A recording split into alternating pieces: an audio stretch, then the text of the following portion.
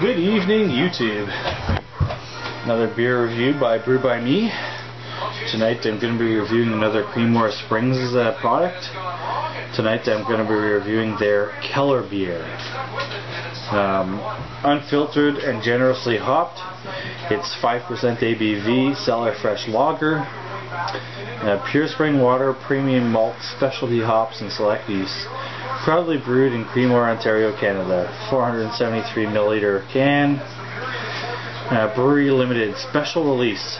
Since the Middle Ages, folks in rural Germany have enjoyed fresh, locally brewed beer straight from the brewer's cellar, known as Keller beer. Keller beers are unfiltered, so the beer is naturally cloudy, distinctly flavorful, and refreshing. We brew our Keller beer in small batches using our direct fired kettle. Special German whole leaf hops are added late in the brewing process, producing a beer that is wonderfully aromatic with a hint of citrus and spice on the palate. The folks at Creemore Springs are proud to share their love of traditional brewing with you. No additives, no preservatives, no pasteurization.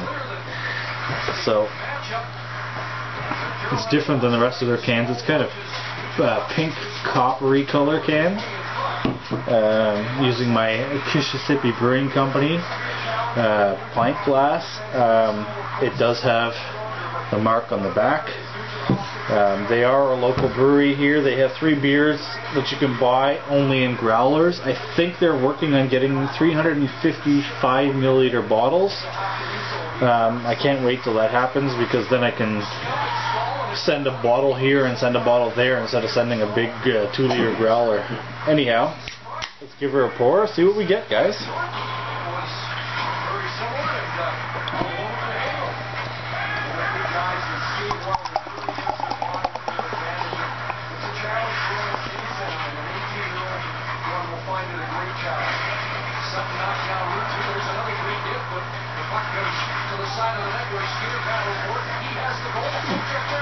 Little aggressive. Sorry about that. Anyhow, um, always delivered fresh. Um, these guys, Creemore Springs, delivers their beer to the LCBO weekly. So their beer is always fresh and it's not pasteurized, none of it is. So it's one of those beers where uh, you go into the LCBO here in Canada, you buy it and you drink it as soon as you can, or else, you know, you never know what you might get. You might get some funky smells or something like that. But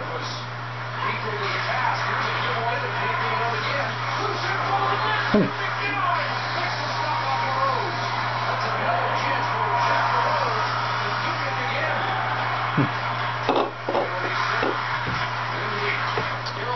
Alright, so very cloudy. Very cloudy. So you guys can see. Three fingers ahead. A nice pillowy top. Um, you cannot see through it, so it so it is unfiltered. Um, it is dark copper in color, I'd say maybe on the high end of brass. Hmm.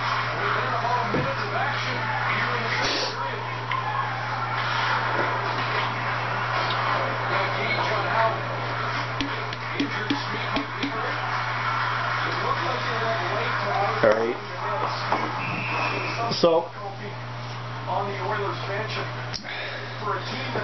it's like a a glacier of uh, of head here. It's like a big poofy cloud of head. It's awesome.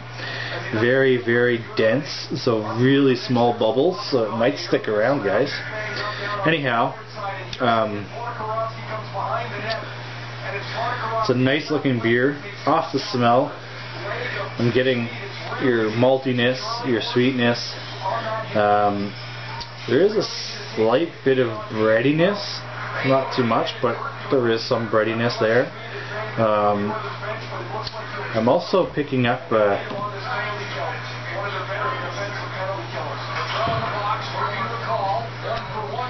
citrus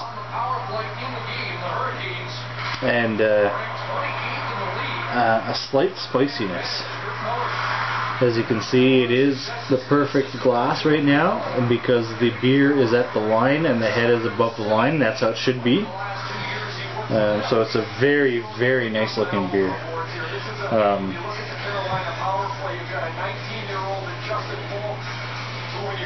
other than that, I'm not getting anything else off the smell. So let's dive in, give her a taste, see what we get. There are some marbles defensively for this youngster, he's going to be a really good player. I saw him at the Prospects tournament wow. in Traverse City.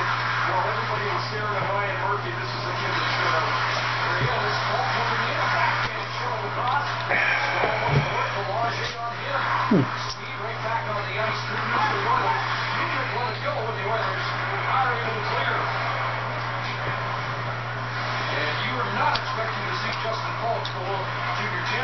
So,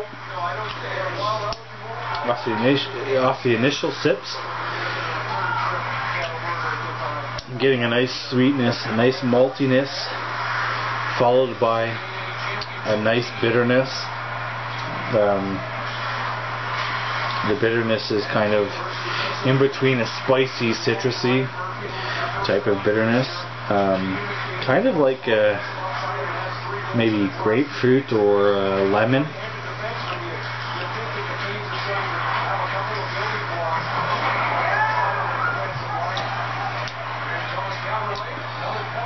There is a slight bit of um, breadiness there, like uh,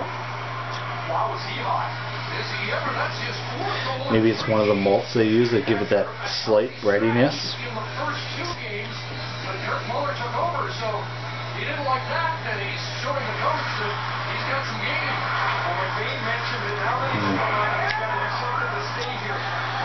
It's clean, it's crisp, it's refreshing. Look at that. Each sip I take leaves a, a line of lacing. That's awesome. That's awesome. Um,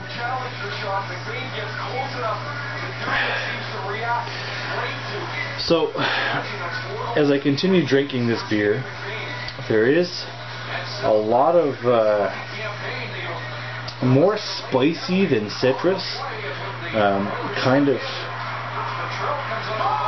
kind of earthy.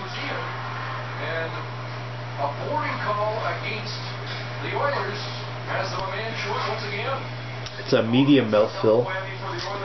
Um, front of the tongue, like I said, sweetness, maltiness, medium. Uh, middle of the tongue, you get the the bitterness. At the back, you get the uh, the carbonation, and you get the um,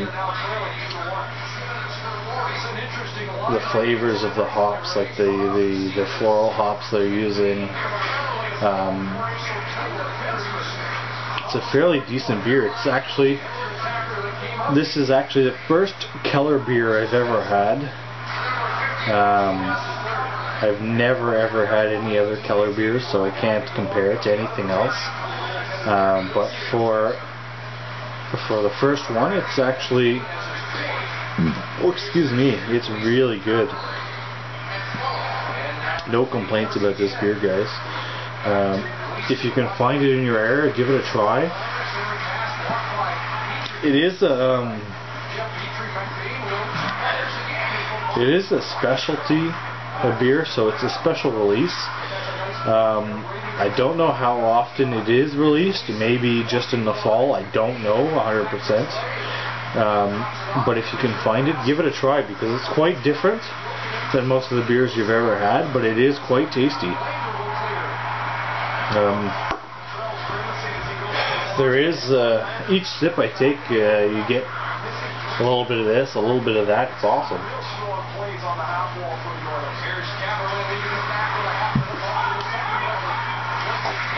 Again,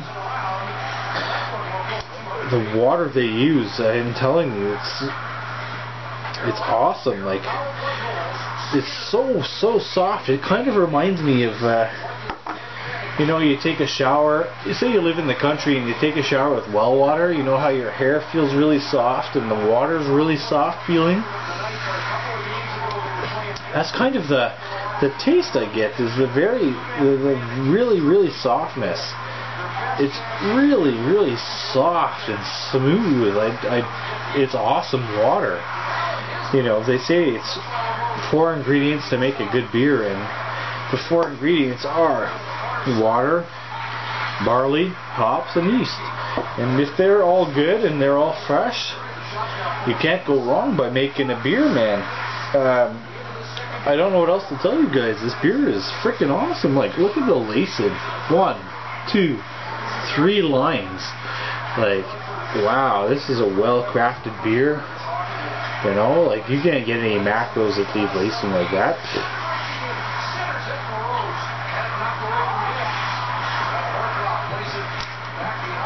Anyhow, I don't know what else to tell you guys. I sniffed it, I've smelt it, I've tasted it, I've told you what I thought. Please rate, comment, subscribe, leave any uh, suggestions or ideas in the comment box. I'll get back to you as soon as I can. Thanks for watching. Until next time, out.